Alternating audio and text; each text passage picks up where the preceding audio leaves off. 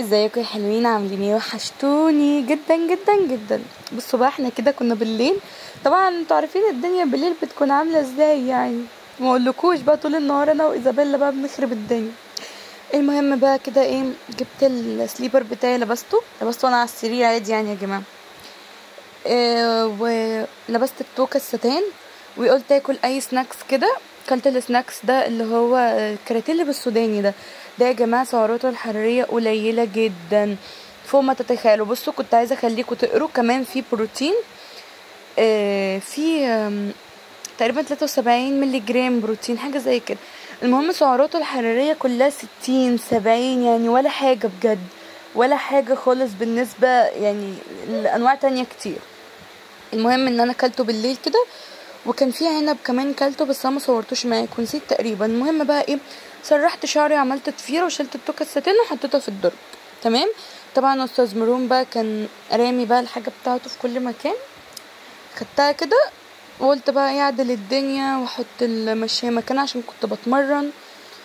وجبت لنفسي إزازة مية حطيتها جنب مني عشان خاطر أشرب منها طول ما إزازة المية قدام مني زي ما قلت بشرب. طول ما هي مش قدام مني ولا بقرب للمية ولا بعبرها. حطيتهم كده الاتنين جنب بعض وكمان جبت الحديد بتاعي عشان آخده. بس كده حطيتهم هما التلاتة جنب بعض وما كنتش حطيت الكريم المرطب بتاع إيدي ولا سيروم الضوافر اللي أنا عاملاه. برضو حطيتهم لأني بسيبهم آخر حاجة خالص. المهم بقى إيه دخلت على الحمام عشان خاطر أغسل آه الباسكت الشرشوبة ولا إيه يا جماعة. بصوا بقى هسيبكم تتفرجوا وهتكلم معاكم. كان في بنوتة بتسألني بحب قوي فكره الأسئلة دي. بتقولي ميرا آه، جوزها تقريبا في السعودية ببعت لها ألف جنيه بس كل شهر مصاريفها وهي حامل. بصوا أنا عايزة أسمع رايكم في الموضوع ده. هي بتقولي أعمل إيه؟ بصي يا قلبي المفروض طالما انت حامل ويبعت لك أكتر من كده. ده هيكفيكي مصاريف الدكاترة ولا علاجاتك ولا التحاليل ولا أكلك ولا شربك ولا انت نفسك في حاجة؟ يعني المفروض الألف جنيه دي يديها لك انت لو نفسك في لبس نفسك في شامبو بلسم perfume خلصت من عندك الكلام ده مصاريفك الشخصية. انت بتقولي انه في السعودية يعني ما شاء الله ربنا أكيد كرمه. تمام؟ فيزود المصروف. يعني أنا مش معاكي ان انت تدفعي لمامتك وباباكي طول ما انت عندهم. مش مش معاكي ان انت تدفعي لهم حق الاكل والشرب دول مامتك وباباك يعني أنا أروح لمامتي اديها حق الغدا؟ لا طبعا. على فكرة أنا ساعات بقعد عند مامتي بالخمس أيام بالعشر أيام. استحالة اديها يعني؟ لها ماما خدي ده حق قعدتي معاكي. لا طبعا. حتى لو قعدت معاها أنا ساعة الولادة قعدت مع ماما شهر ونص. معنى كده إن أنا أديها حق ال- الأكل والشرب لأ طبعا. بس المفروض هو يزود المصروف عشان خاطر الدكاترة وعشان خاطر تجيبي. مثلا لو مامتك النهارده عاملة أكلة انت مش حباها بسبب الحمل تجيبي الأكل اللي نفسك فيه فاهمة قصدي؟ آه، تجيبي حاجات ناقصاكي تجيبي لبس ناقصك حاجة. طبعا مش تقدري تقولي لأهلك هاتولي كذا وكذا وكذا لأ نفسك في فاكهة معينة. نفسك في أي حاجة تجيبيها لنفسك نفسك تطلبي حاجة. فأنا رأيي إن هو يزود لك المبلغ شوية وما تديش لباباكي ومامتك ده رأيي. عايزة برضه يا جماعة أسمع رأيكم لأنها عايزة مصاريف من جوزها عشان تدي باباها ومامتها يعني في حق الأكل تشترك معاهم في الأكل. أنا مش معاها في الحتة دي بصراحة. يعني مش معاكي قوي في الحدود اللي انت عاملاها دي بينك وبين أهلك مش معقول. لا طبعا.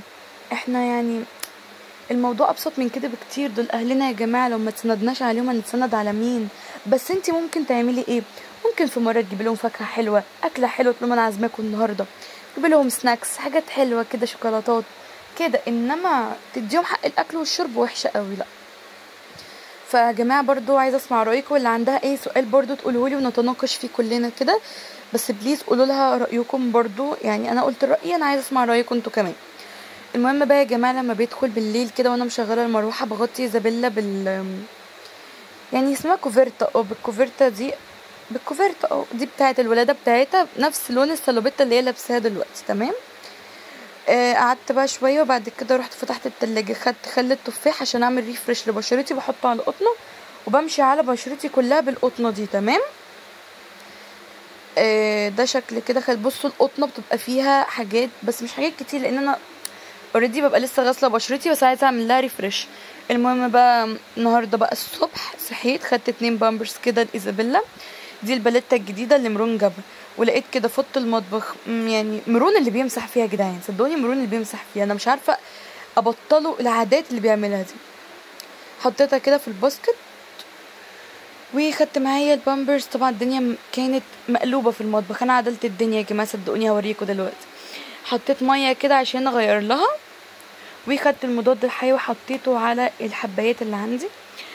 آه، لأن يعني بجد الفترة دي آه، بشرتي مهلوكة. الشتاء لما الشتاء بيكون خلاص هل زي ما الدنيا بردت وبعد كده يدخل الصيف بشرتي بتتدمر. صحيت الصبح لقيت طبعا مرون مغير ورميهم طبعا على الأنتريه خدتهم ودخلتهم جوه. بصوا ال basket أصلا ما فيهوش غير الحاجات اللي أنا لسه حطاها المهم آه العلاقات دي كل شوية الفوط تقع منها. بجد مش عارفة أثبتها إزاي. كذا مرة أحط double face وبرده مفيش فايدة. حاجة مضايقاني جدا. قعدت بقى أضغط عليها كده. فوانا معدية كده في الحمام لقيت ال- ال- المحبس أو البتاع ده العداد ما كانش مقفول كويس. قفلته وجبت إزازة مية وحطيتها كده جنب مني. الفطار النهارده يا جماعة ما كانش بقى إيه بيض وكده. كنت مكسلة وكنت جعانة جدا. فطلبت من مامتي وهي نازلة السوق تجيب لي فول و... وبطاطس وحطيت طماطميه كده وكلتهم المهم أنا دخلت ظبطت المطبخ بس ما صورتش معاكم لأني already مصورة معاكم الحاجات دي امبارح. فصورت معاكم حاجات بسيطة بس كده. ظبطت معاكم المطبقيه كده. وقلت أحط معاكم الفوط بعد ما لزقتها بس صدقوني وقعت برضو يعني دي وقعت. بس اللي هي ال- ال I دي ثابتة. اللي هي كان علامة love أصلا أو كلمة love أنا كده كده هشتري تاني يعني. تمام علقتهم كده. وطبعا كنست أوضة الأطفال بس ما صورتهاش معاكم وكنست أوضة النوم بس ما صورتهاش معاكم هنا بقى كنت بطفي نور المطبخ وكنت داخله أوضة النوم لإيزابيلا عشان أنام تقريبا. كنت عايزة أنام. آه هنا كان قبل ما أنام. كنت جعانة جدا بجد ومش قادرة وكنت شايلة بكرولز بالطماطم فقلت أطلعه وأكله. كده كده سعراته برده مش كتير وفي نفس الوقت بكرولز مش مضر. هنا بقى بعد ما صحيت من النوم عملت لنفسي كوباية نسكافيه وحطيت ال- الكفر السيليكون ده عليها لحد برضو ما أوضب السرير. دايما بعمل الحركة دي. بصوا السرير بقى كان مبهدل قلت أغير الملاية بالمرة كده. جبت الملاية دي من الدولاب الفيروزي وقلت بقى إن أنا إيه هحطها النهارده تمام؟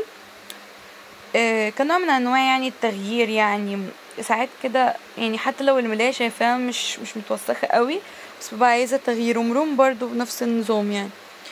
المهم بعمل لكم إخي يعني تلاتة بص غيرت كده بقى الملاية وحطيت الكفر الستان بتاعي وظبطت الدنيا. بصوا بقى هنا أول أول القصيدة بقى إن أنا كنت بصور وحاطة ال body mist ده فنقط بقى. بص حطيته هنا كان لسه هينقط. وده اللبس اللي أنا كنت لسه مصورة بيه على تيك توك. جماعة روحوا تيك توك بجد هتتبسطوا قوي. سيب لكم ال link في أول comment مثبت وحطيت الحاجة اللي كنت بصور بيها برضو في تيك توك. أه وبس كده. أتمنى الفيديو بتاعي يكون عجبكم. أتمنى فيديوهاتي أصلا الفترة دي تكون عجباكم ما تنسوش ال like والكومنت والاشتراك في الشانل باي حلوين.